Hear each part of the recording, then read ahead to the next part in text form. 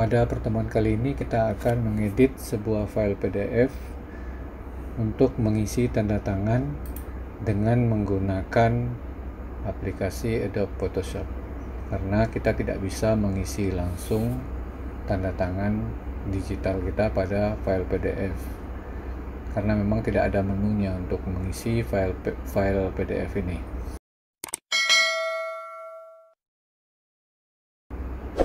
Uh, kita coba. Tidak ada menu.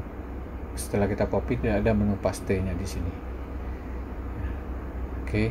nah pada pertemuan kali ini kita akan melakukan proses editing mengisi tanda tangan dengan menggunakan Adobe Photoshop.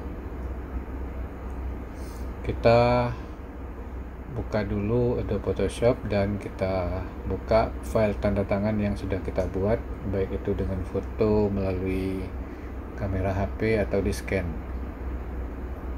Kemudian kita buka juga file PDF nya di Photoshop.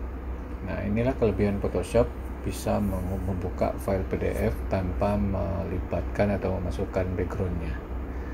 Kemudian kita juga tidak bisa langsung memasukkan file uh, tanda tangan tadi karena masih ada background putihnya. Kalau kita coba memasukkannya kita coba kita select all copy kemudian kita paste di file PDF nya tadi maka dia akan membawa atau menampilkan background putih.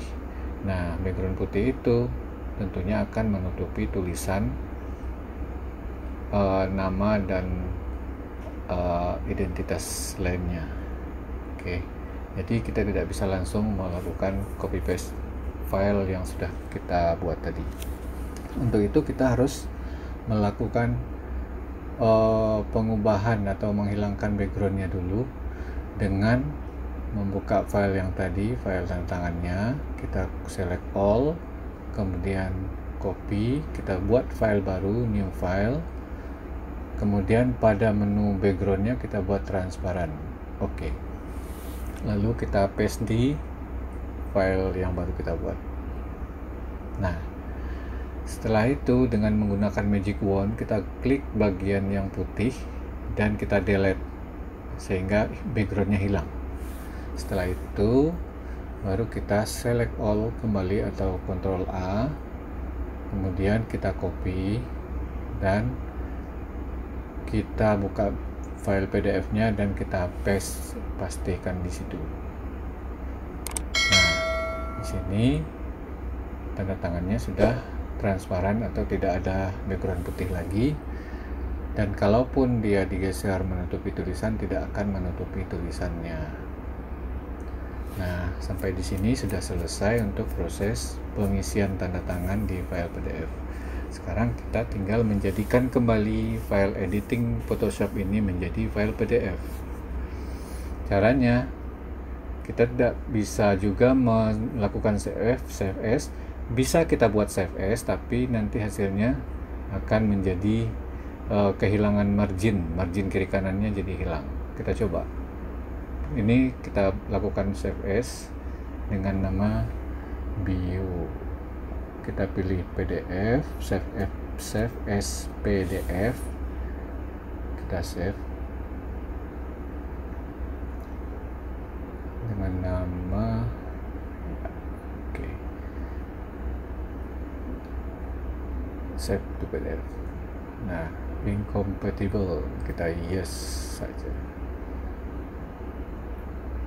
Oke kita coba kita cek hasilnya secara isinya sudah sih. Tanda tangannya sudah menempel dengan bagus tapi kita kehilangan margin kiri kanannya yang tadi.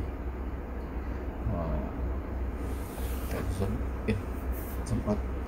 Tuh hilang marginnya. Jadi ukuran kertasnya jadi mengikuti file Photoshop tadi. So kita akan melakukan uh, pada aplikasi Photoshop yang akan kita lakukan adalah dengan melakukan print.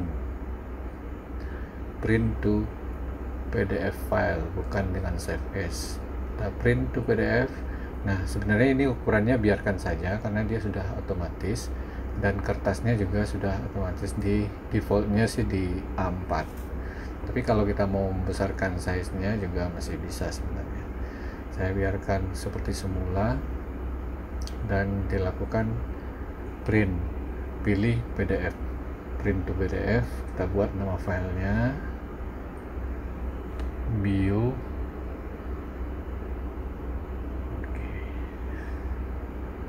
Sudah selesai kita coba cek hasilnya.